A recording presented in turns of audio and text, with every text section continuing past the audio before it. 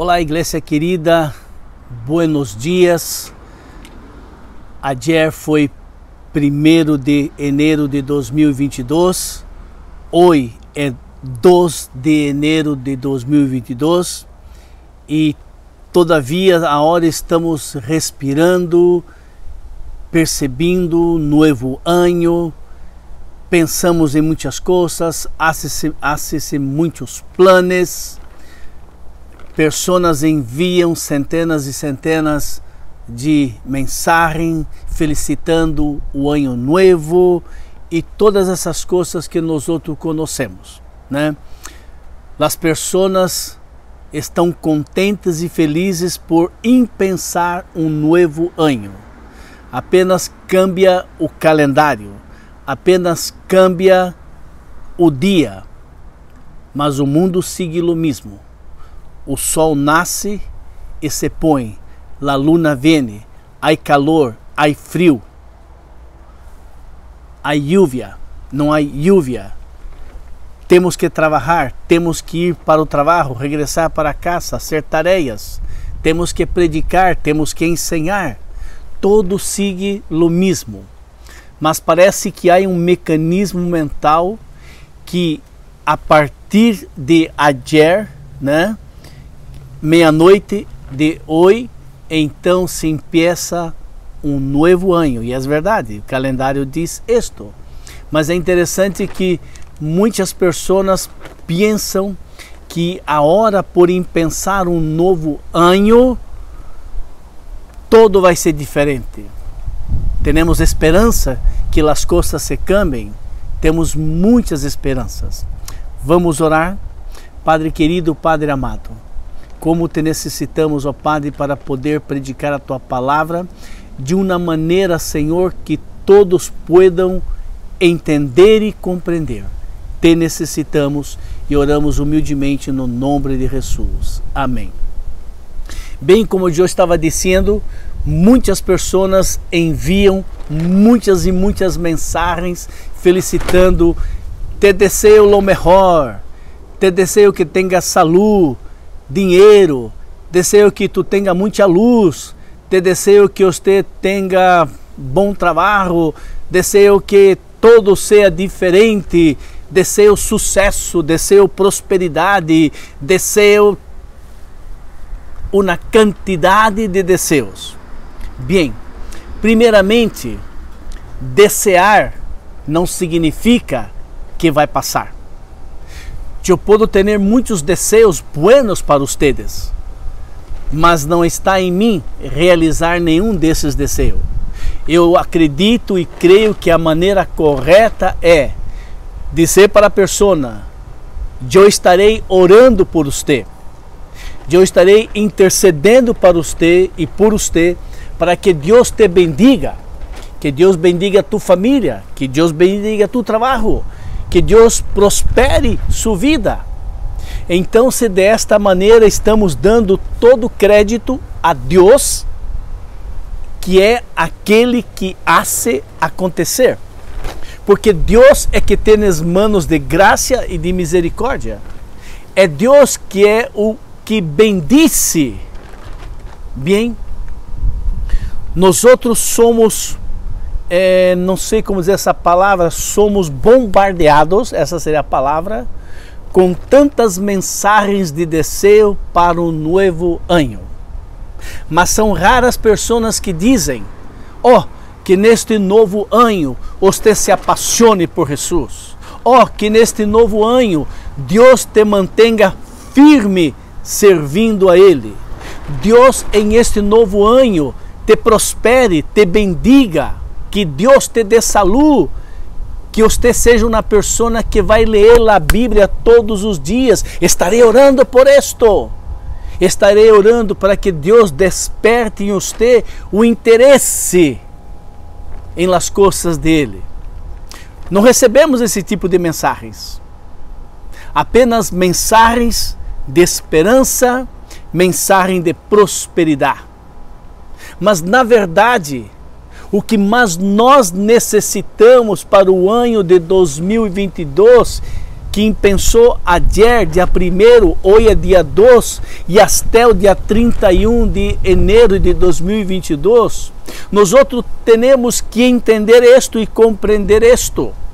Mira, Deus proveeu a la humanidade com o que ele tem de melhor, para que o ano novo seja verdadeiramente um ano feliz.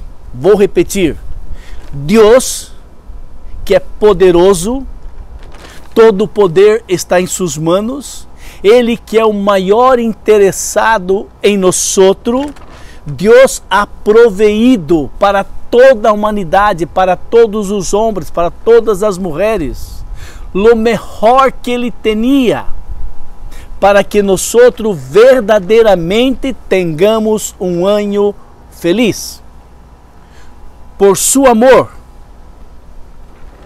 Ele nos ofereceu Jesus, Ele nos deu a Jesus, Cristo é o Salvador, a quem vino acá em esta terra, lleno de graça, para vivermos por meio de Ele. Ponga atenção que o mais importante em esta vida é aquilo que Deus ofereceu para nós que é vida eterna através de Jesus, que é nós outros seguirmos ao Senhor Jesus. Porque eu posso ganhar todo o dinheiro do mundo, eu posso ter a melhor saúde que uno pode ter, nem gripa, nem tosse, nem nada.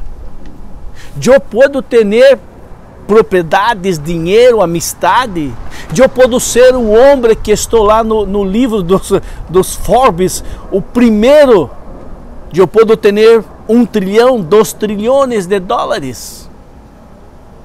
Mas se eu não tenho este regalo, que Deus proveou, proveu, enviou, deu a nós outros.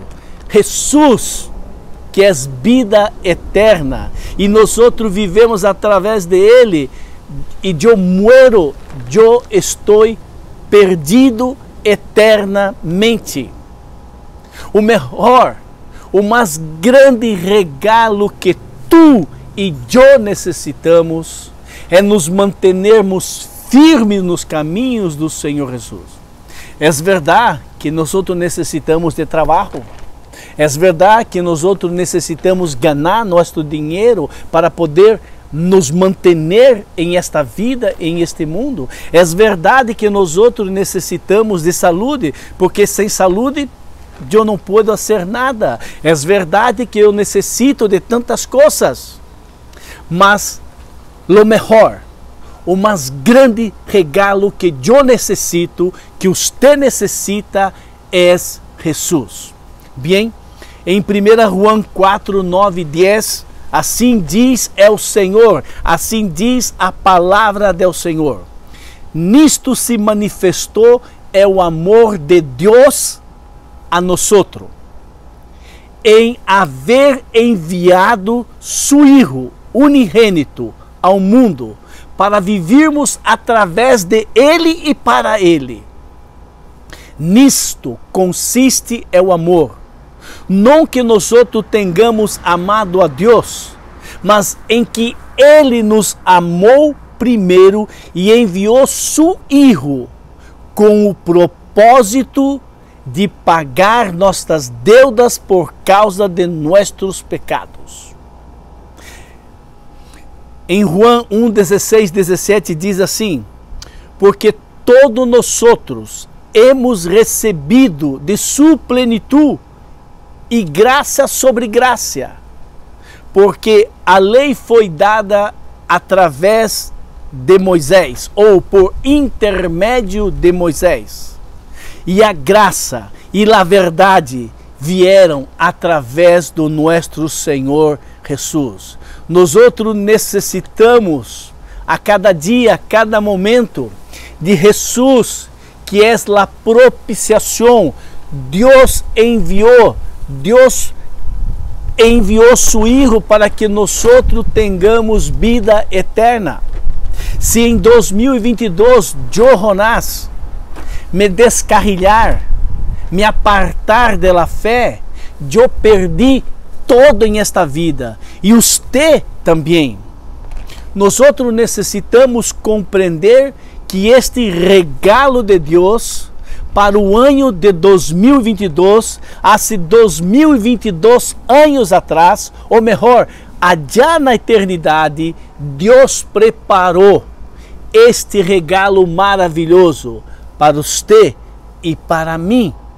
Jesus é a propiciação, Jesus é aquele que morreu por causa de meus pecados, de tus pecados, e ele é é o caminho, a verdade e a vida. E ele é aquele que nos conecta, aquele que nos reconciliou com Deus. Oh Jesus da glória. Bem, em Efésios 2, 8 e 10 diz o seguinte: Porque pela graça sois salvos, mediante a fé. E isto não é de vosotros, é dom de Deus. Não por obras, para que nadie se jacte, para que nada se glorie. Pois somos hechura de Ele, criados em Cristo Jesus para as buenas obras, las quais Deus de antemano preparou para que andássemos em ella. É por sua graça maravilhosa, Deus presenteia, Deus regala a todo homem com fé, para que creiam na maioria ou na maior dádiva do seu amor. A justificação de nossos pecados, os quais ele se ofereceu completamente. Jesus, que sofreu e morreu em nosso lugar, cancelando, anulando, pagando a condenação que vendria sobre nós. É Deus, é Deus que nos dá esta fé para crer no regalo de Ele, para crer que Jesus é o maior regalo em que tu e eu necessitamos para o ano de 2022, sabendo que meus pecados, quando eu me arrepinto, quando eu confesso meus pecados, meus pecados, aqueles que me separam de Deus, agora por causa de Jesus, meus pecados são perdonados e eu tenho conexão, eu tenho amistad, eu tenho amizade com Cristo, com Deus, com o Espírito Santo. É necessário compreendermos que esta é a maior ou o maior regalo de Deus. E este regalo é por sua graça. Deus oferece salvação a nós por sua graça, não porque nós merecemos, não porque nós podemos fazer alguma coisa para merecer salvação. Não, é impossível. Mas por sua graça, Ele nos regala perdão para os nossos pecados através de Cristo Jesus. Maravilhoso. Bem, em 1 Timoteu 2, 4 a 6 diz assim: O qual Deus, nosso Salvador, deseja que todos os homens sejam salvos e cheguem ao pleno conhecimento da verdade. Porquanto há um solo Deus e um só mediador entre Deus e o homem Cristo Jesus homem, o qual a si mesmo se deu por resgate de muitos, e dando testemunhos de isto em outros tempos oportunos. Timoteu 2, 11 e 14.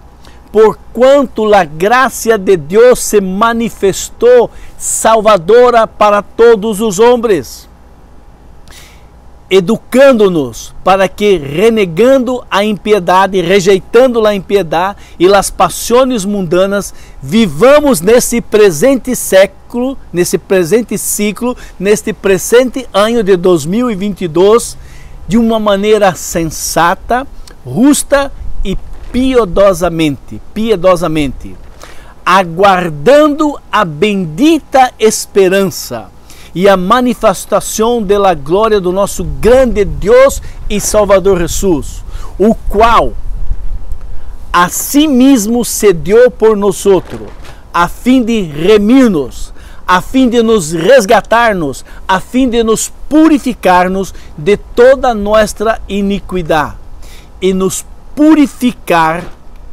para si mesmo um povo exclusivamente celoso de buenas obras. É o Senhor. Devemos ansiar, desejar que o nosso Senhor venga e que esta esperança em Cristo Jesus, esta esperança de que Ele vendrá, esta esperança que um dia estaremos na vida eterna, estas são as coisas mais importantes em nossas vidas. Para que Ele nos mantenha firmes mirando para Jesus, autor de nossa fé, autor, criador e aquele que regala a fé para que nós outros creiamos neste regalo. Tenemos aguardando a bendita esperança, amados, e a manifestação da sua glória através de Cristo Jesus. Bem,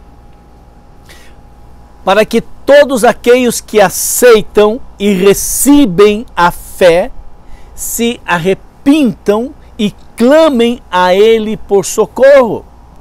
Ou seja, é Deus que nos dá desta fé para crermos pela fé que ao nos arrependirmos de nossos pecados e clamar a Ele por perdão, Ele nos perdona e Ele nos purifica. Mas para aqueles que todavia não entregaram sua vida a Jesus, é necessário uma entrega, é necessário pedir ao Senhor que te dê esta fé, de você crer, é verdade, sou pecador, estou perdido. E da maneira como estou vivendo vou para o inferno, porque pelo hecho de que eu não estou caminhando com Cristo, eu estou caminhando hacia ao inferno. Eu estou caminhando a eternidade sem Deus. Então, se eu devo pedir ao Senhor, Senhor, salva-me. Dá-me esta fé de crer que Deus pode ser salvo por Cristo Jesus. Senhor, dá-me esta fé para crer que ao entregar minha vida a Jesus e seguir a Jesus, se eu muero hoje ou passado manhã, seja quando for, e Deus, o Senhor me manter firme, eu estou seguro da esperança que eu vou estar no cielo por toda a eternidade. É através da fé, não é através de pensamento positivo, pense positivo, não, não, não existe isto. Isto é fé que Deus regala a todos nós outros. Bem, Deus lhe concede salvação eterna e passa a habitar em nós através da terceira persona da Trinidade, é o Espírito Santo. Uau! Deus criador do céu e da terra, a Trinidade, Deus Padre, Deus Filho e Deus Espírito Santo, vivendo em nós a hora através de Jesus, porque quando eu me arrependi de meus pecados, entreguei minha vida para Jesus e eu clamo socorro a Ele, automaticamente o Espírito Santo de Deus, naquele dia, naquele momento, entrou em nossas vidas e está vivendo em nós e com nós. E é Ele que nos fortalece, é Ele que nos conduz. Nós outros necessitamos para este ano de 2022 pedir ao Senhor que nos dê graça para que a cada dia o Espírito Santo de Deus tome a renda de nossas vidas, que o Espírito Santo de Deus tome a direção de minha vida, Ronás Mostafa, e a tua vida também. Pedir ao Senhor que o seu dulce Espírito Santo nos conduza, nos dirija, nos dê coragem para predicar, coragem para levar a palavra. Que o Senhor nos ajude a ser a obra que Ele deseja que nós outros hagamos. Esse deve ser o grande desejo para o ano de 2022. Um homem ou uma mulher, ou um homem e uma mulher, uma família, padre, madre e hijos, todos tendo este entendimento e clamando ao Senhor que o Espírito Santo de Deus conduzca a sua vida da maneira como a Ele lhe agrada. Em Hechos 2:38 diz assim a palavra do Senhor: Respondendo Pedro lhe disse: Arrependi-vos e cada um de vosotros seja batizado em nome de Jesus Cristo para remissão ou para perdão de vossos pecados e recebereis é o dom do Espírito Santo. Romanos 10, 12 e 13. Pois não há distinção entre judio e grego, uma vez que o mesmo é Senhor de todos, rico para com todos o que invocam, porque todo aquele que invocar, todo aquele que clamar o nome do Senhor Jesus será salvo. Este é para todos. Nós devemos desejar e orar e clamar ao Senhor para que seu padre, sua madre, sua esposa, seu esposo, seus filhos, seus parentes sejam salvos da perdição eterna, em que este ano de 2022 o Senhor desperte em mim, Ronás, e desperte em você esse desejo de orar e clamar por salvação de nossa família, de nossos parentes, de nossos amigos. Este deve ser o desejo que nós outros devemos ter para o ano de 2022.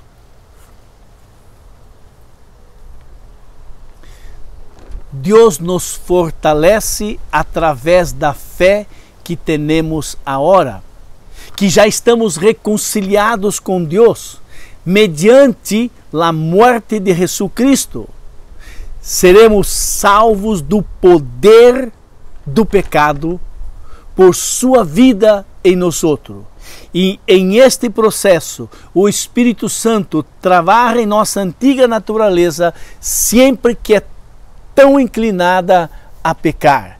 É o Senhor que nos fortalece a hora, para que nós outros possamos estar reconciliados com Deus através da morte de Jesus.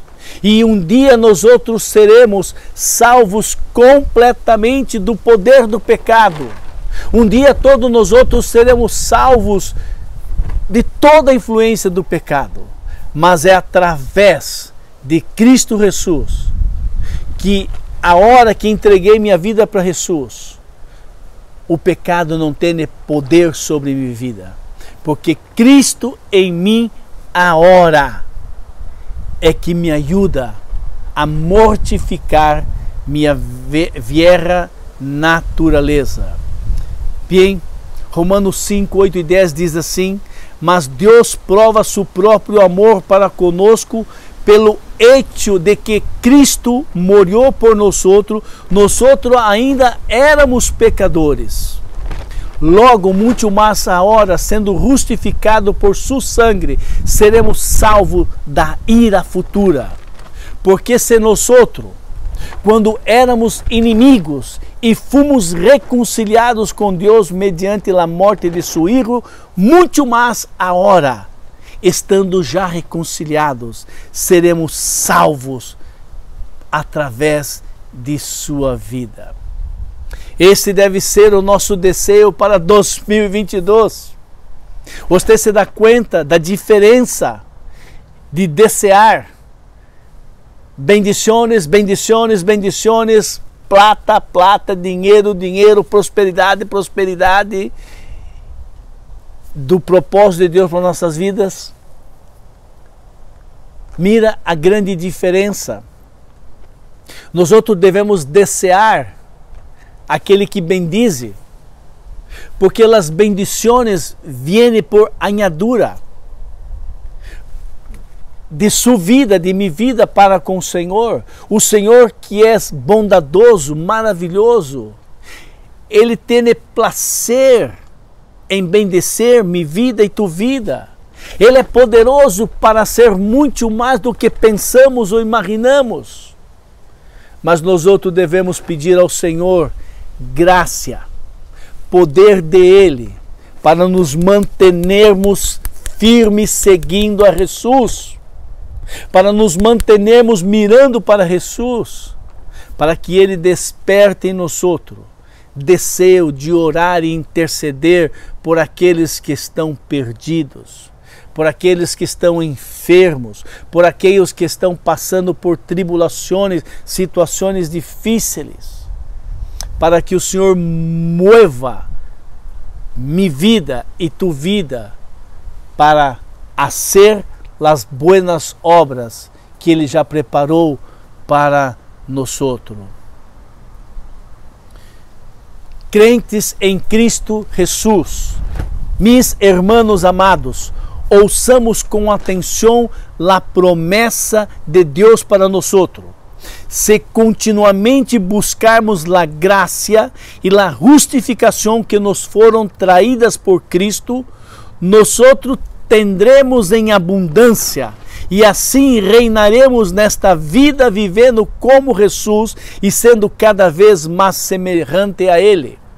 Este é o plano de Deus para nossas vidas, para este ano de 2022, que nós outros possamos buscar continuamente justificação, perdão por nossos pecados. Quando nós pecamos em pensamento, em palavras, em hechos, nossa relação com Deus é cortada. Isaías 59, 1 e 2. Eis que os ouvidos de Deus não estão tapados nem inflamados que não poda te ouvir. Eis que as manos de Deus não estão corras torcidas que não pueda te bendecer. Mas são seus pecados, nossos pecados, que hace separação entre o homem e Deus. E sempre que nós outros pecamos, porque nós outros somos pecadores, mas nós outros não amamos pecar. Nosso inimigo, que está rondando como um leão tentando nos destruir, nosso inimigo, que é o ladrão que vindo para matar, roubar e destruir. Satanás quer convencer ao cristiano, Satanás quer convencer ao homem que já conhece a Cristo que não há mais solução, não há mais perdão para nossos pecados, já que nós outros somos cristianos e estamos pecando, como pode um cristiano pecar? E por causa deste ataque do inimigo, muitos crentes se apartaram da fé, porque não creram que se ele confessasse seu pecado, ele seria perdonado completamente. Mas é o Senhor, é o Senhor, amados, que através da fé que Ele nos dá quando pedimos. Ele nos garantiza que quando pecamos e pedimos perdão, nós outros somos justificados e mantemos nossa comunhão com Cristo Jesus, nossa comunhão com Deus Padre, nossa comunhão com o Espírito Santo. Nós necessitamos nesse ano que impeça entendermos que pecado nos aparta de Deus mas Deus nos justifica e nos perdona quando confessamos nossos pecados. E o interesse grande de Deus é que nós outros continuemos tendo esta relação com Ele de padre e filho. Mira o que diz Romanos 17 e 18.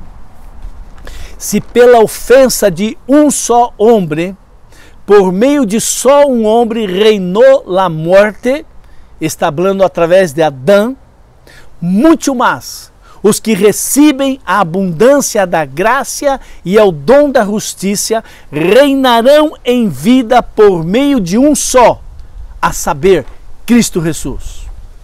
Pois assim como por uma ofensa vindo é o juízo sobre todos os homens, por causa de Adão, vindo a condenação a todos os homens, para assim também por causa de um ato de justiça, vindo la graça sobre todos os homens para a justificação que dá vida. Aleluia!